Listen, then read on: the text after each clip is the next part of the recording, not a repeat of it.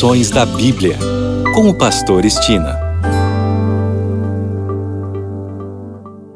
Olá, aqui é o Pastor Estina no seu programa Lições da Bíblia.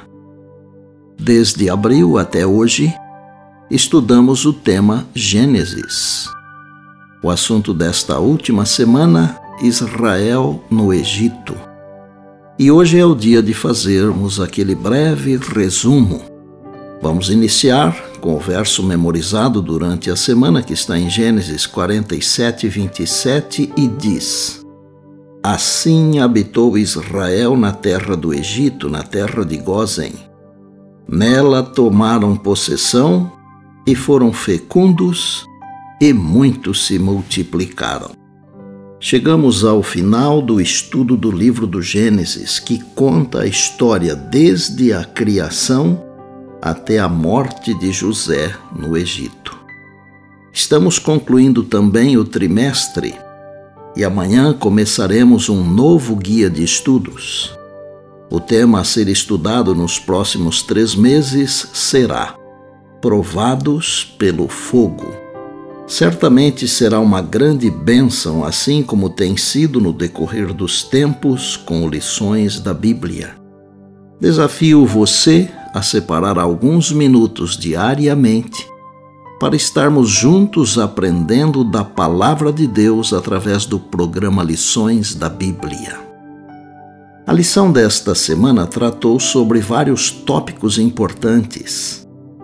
A ida de Jacó, ou Israel, para o Egito, onde se encontrou com José e lá viveu até o final da vida as bênçãos proferidas por Israel sobre os filhos de José e também sobre os seus próprios filhos, e terminou com a morte de Israel e também com a morte de José, e em ambos os casos uma referência à libertação final do cativeiro do pecado. Um detalhe que não pode ser deixado passar por alto é Siló, nome que é mencionado nesta parte. Siló era o nome de uma cidade que ficava perto de Betel. Mas Siló é também uma referência ao Messias, o enviado de Deus. Siló quer dizer descanso.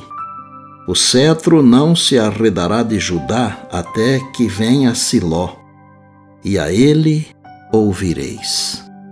O Messias, que viria da tribo de Judá, é o Senhor Jesus, ele é o verdadeiro descanso do povo de Deus. Perceba que todo o livro do Gênesis evoca um final glorioso quando o povo de Deus seria libertado por um Deus que prometeu liberdade na terra prometida. Ainda hoje, Deus está trabalhando com seu povo, que é o Israel espiritual, preparando-o para a libertação final a libertação do Egito do pecado deste mundo. Devemos manter viva essa esperança, pois Jesus em breve cumprirá a promessa. Pode até parecer que está demorando, mas no tempo certo Deus cumprirá o que prometeu. Lembro-me que há exatos 50 anos preguei meu primeiro sermão e foi sobre a volta de Jesus na noite de 24 de setembro de 1972. Eu tinha apenas 16 anos de idade. Preguei sobre a volta de Jesus e o texto usado foi João 14, de 1 a 3. O tempo passou, 50 anos e Jesus ainda não veio, mas ele virá e não tardará. Muitos familiares meus já descansaram nesses 50 anos. Muitos amigos e amigas, irmãos e irmãs já se foram. Certamente já preguei a volta de Jesus algumas centenas de vezes e continuarei pregando até que ele venha. Não perdi a esperança mesmo 50 anos depois. Pelo contrário, Estou mais animado ainda porque estamos 50 anos mais perto da volta de Jesus. É verdade que ele ainda não veio, mas em breve virá. Você pode ter certeza de uma coisa. Um dia desses os céus se abrirão e veremos Jesus nas nuvens dos céus com poder e muita glória vindo nos buscar.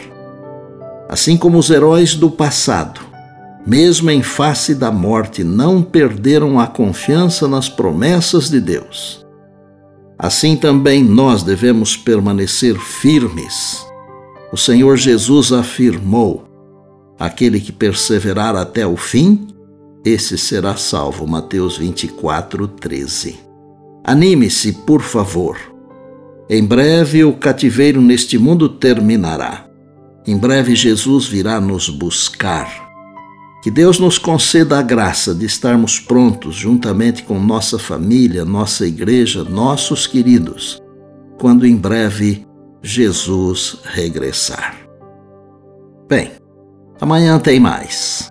Começaremos um novo guia de estudos com o tema Provados pelo Fogo, se Deus assim nos permitir.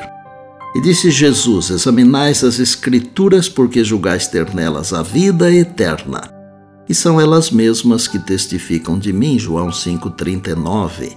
Eu sou o Pastor Estina e este é o seu programa Lições da Bíblia, diariamente com você, pela graça e misericórdia de Deus.